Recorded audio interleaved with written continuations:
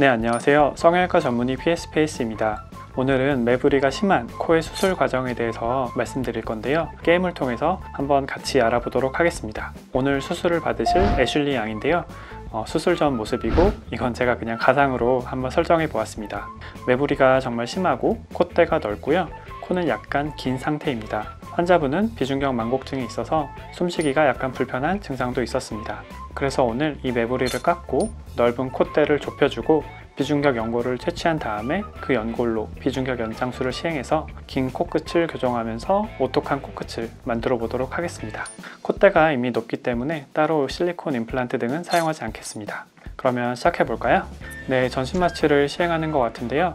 어, 병원마다 다르겠지만 전신 마취까지는 안 하고 국소 마취와 수면 마취 정도를 시행하고 수술을 하는 경우가 많습니다. 저도 그렇고요. 아무튼 이제 retractor를 걸고요. 비주, 코 기둥에 절개선을 넣습니다. 그런데 보통 이렇게 일자로 절개선을 내진 않고요. 인버티드 V 쉐입이라 그래서 이런 절개선을 내거나 V자 모양으로 절개선을 내기도 합니다. 그리고 여기에는 생략되어 있는데 콧날개 안쪽으로 절개선을 연장해서 박리를 진행해서 코 안쪽의 연골 그리고 코뼈 등 해부학적인 구조물을 노출시킵니다. 조직을 박리하는 걸 표현한 것 같은데 보통은 페베 scissor라고 해서 이렇게 끝이 구부러져 있는 기구를 사용합니다. 피가 나니까 지혈을 하는데 이렇게 피부를 따라서 다 지져버리면 피부가 엄청 화장을 입거든요.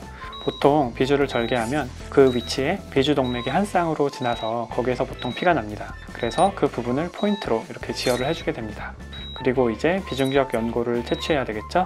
비중격 연골의 코끝 마진을 노출시키는 중이고요. 비중격 연골을 채취하는 과정인데 보통 이렇게 끝 쪽을 그냥 잘라내버리면 안 되고요. 지난 영상에서 말씀드렸지만 비중격 연골은 코 가운데서 기둥을 이루는 중요한 구조물입니다. 그래서 이 기둥의 강도를 유지해 줘야 되고 따라서 L자 모양의 지시대는 꼭 남겨두고 연골을 채취합니다. 자, 그 다음으로는 매부리를 제거해 줄 건데요. 매부리에는 뼈 부분이 있고 연골 부분이 있습니다. 여기서는 먼저 뼈 부분에 매부리를 제거해 주네요.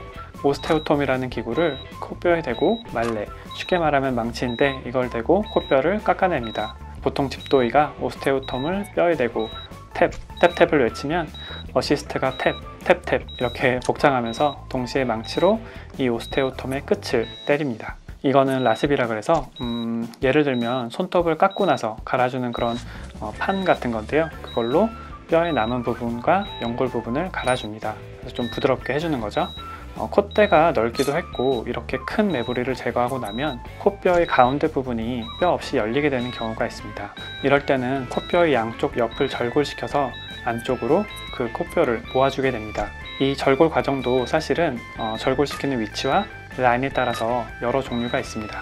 역시 오스테오톰과 말레를 사용해서 절골 후에 손으로 양쪽 뼈를 모아줍니다. 그리고 이 게임에서는 생략됐지만 아까 채취한 비중격 연골이 있잖아요. 그 연골로 비중격 연장 수술을 시행해서 코를 길지 않게 코끝의 위치를 바꿔주고 어, 코끝을 오똑하게 만들어줍니다. 지금 이 과정은 연장된 비중격 연골에 양쪽 코끝 날개 연골을 고정하는 과정으로 봐도 될 것 같습니다. 자 이제 수술이 거의 마무리돼 가죠 이제 피부를 봉합하고 있습니다. 사실은 이 비주 쪽 말고도 아까 여기 날개 쪽으로 연장했던 절개 부위도 다 봉합해 줘야 되겠죠? 이제 코 안쪽에 솜을 넣어줍니다. 마지막으로 보통은 이 splint를 대기 전에 테이핑을 하고요. 그 다음에 splint를 대줍니다.